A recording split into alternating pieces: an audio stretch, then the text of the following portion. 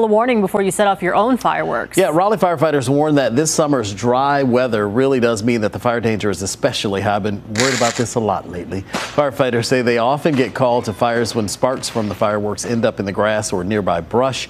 This year, we are dealing with an especially dry summer and fires will ignite rather quickly. And if we end up with any wind tomorrow, that uh, danger, they, they said the danger is even greater because a fire will spread very, very quickly if you ever ever set like leave dry leaves on fire, it just takes a small spark and you have a you have a quick fire on your hands. So these fireworks, you know, they're they're over, um, you know, 1,200 degrees.